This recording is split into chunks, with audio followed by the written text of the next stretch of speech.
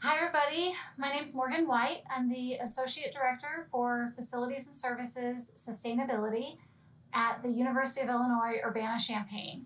And I'm here today with our Executive Director, Dr. Mohamed Attalla, to talk with you about the Solar Farm 2.0 project here on our campus. Dr. Attalla, can you please tell us about the size of the solar farm?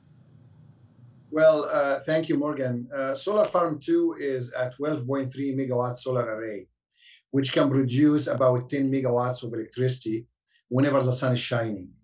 It covers about 54 acres on the University South Farms, and it's one of the largest on campus solar array in the United States. In fact, it will make about 20 million kilowatt hours of electricity in one year which is the amount used by about 2,000 typical US homes. Wow, 2,000. It's quite a lot of houses.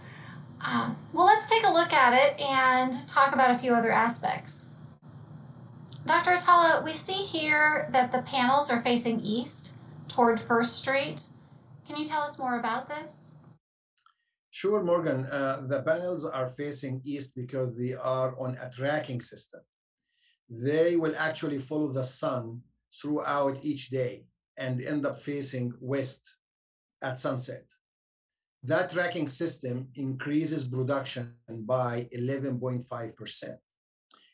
These panels are also bifacial, which is a very innovative technology they can generate energy from both sides of the solar panels, which increases production by another 4.5%.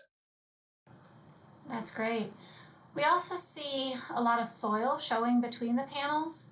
Could you please tell us about the plans for the ground cover?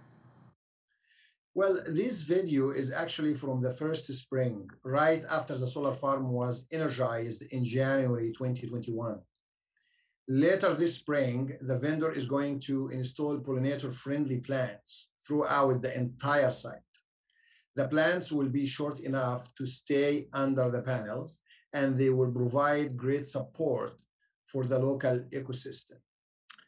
We are also partnering with researchers from the University of Illinois Chicago to use Solar Farm 2 in a large scale analysis of the impacts of pollinator friendly plantings at solar farms.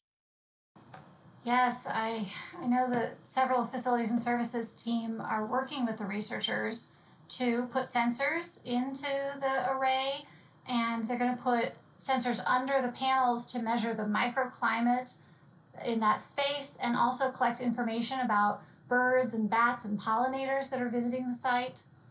Uh, we're also working with the solar farm vendor, Sol Systems, to provide the researchers with operational and maintenance data so they can use that in their analysis.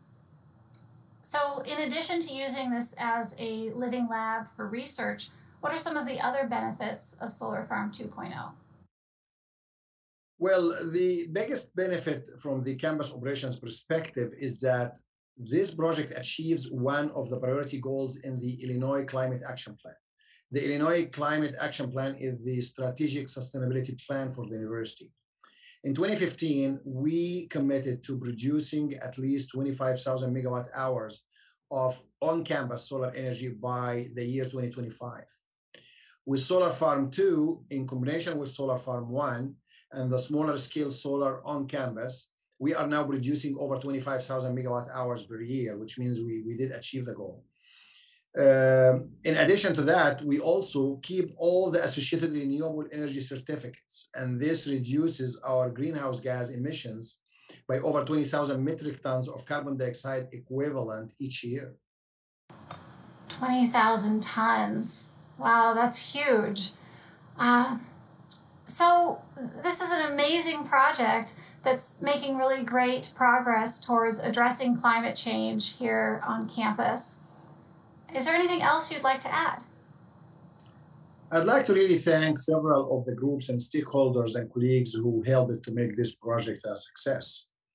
Uh, Land Energy um, has worked with us and helped us with the procurement process uh, to uh, have the vendor.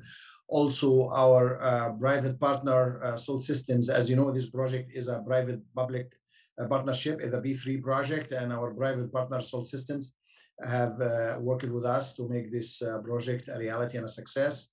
And also, I'd like to thank our friends and colleagues at the Institute of Sustainability, Energy, and the Environment, and many of the sustainability advocates around campus who, who helped us to get this project moving forward. And of course, I'd like to thank the many uh, colleagues of facilities and service experts who coordinated this project and continuing on daily basis to advocate for sustainable energy throughout each year. Thank you very much. Thank you, Dr. Attalla, and we'll look forward to many sunny days ahead. Thank you.